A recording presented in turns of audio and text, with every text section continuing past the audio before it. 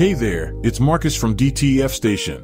Today, we're diving into a common issue, bypassing warning code 012013, or dealing with a safety cap abnormal error on your Hosonsoft. Important to note that this method applies to all DTF station printers manufactured in early 2024.